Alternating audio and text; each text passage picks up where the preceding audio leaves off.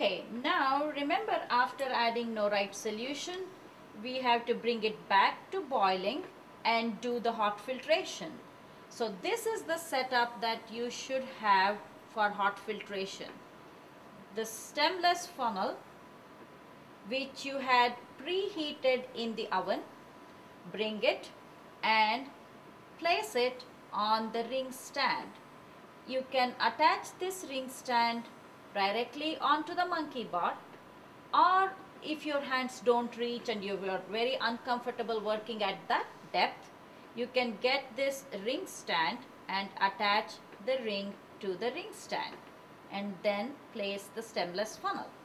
Now, to do the hot filtration, it has to be very fast. So, if I just place a filter paper, the filtration is going to be uh, not that fast. Yes, it will do the filtration, but it will not be that fast. So, I want to do something to the regular filter paper that you always use for filtering. Remember you did gravity filtration in your uh, general chemistry lab and you all, all you did was fold this filter paper in quarters and then you opened it and placed it in.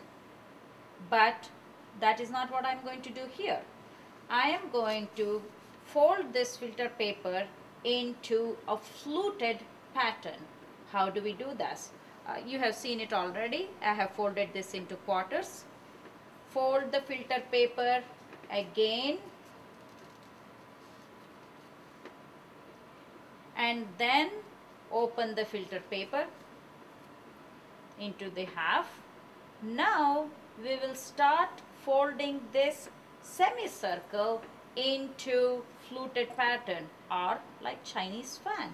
So you bring one fold in, then at that line you fold it back. Again fold it in, fold it back, fold it in, fold it back and fold it in. So alternate folding it in and out sort of origami if you will. So then open your filter paper. Now this is what it looks like the fluted filter paper. It just increases the surface area provided for filtration. So the filtration goes very rapidly. Place it in the stemless funnel. You notice that it is popping up obviously because there is nothing that is holding it. So what I want to do is add some hot solvent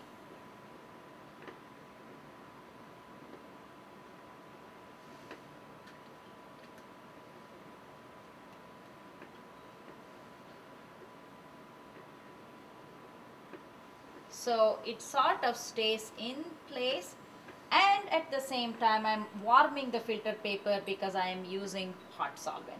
Everything that is used during hot filtration has to be hot. Okay, now in this flask I have already added a couple of boiling stones. Now we are ready to filter. Many times what students do is use this test tube holder to hold the hot Erlenmeyer flask. The test tube holder has the name test tube holder for a reason. It can hold only test tubes, nothing else. So please do not use the test tube holder to, you, to lift the Erlenmeyer flask. So what you can do is just fold a piece of paper towel, make it as a handle. This way you don't get burnt even if it is hot. We can handle the hot flask hold it in this fashion okay? And then carefully lift it. And pour the solution along the glass rod onto the filter paper. You want to make sure that there is a lot of liquid on the filter paper otherwise it starts to cool right there and you will lose crystals What do I mean by hot? You want to fill it as much as possible, but not let it overflow on to the funnel outside of the paper, which means you want to fill it up to about a centimeter below the edge of the filter paper. This is the edge about a centimeter. So keep adding. So this way you don't lose any solid. And notice why we have used the stemless funnel. What happens to the filtrate if you use this regular funnel with a stem? Remember Joule Thomson's effect. Anything that goes through a column cools. So if there is a stem, the solution will be cooling as it goes through the stem crystals will form, it will clog the funnel and you will lose your crystals. That is the reason when we do hot filtration, we use a stemless funnel. So let us continue to do the filtration.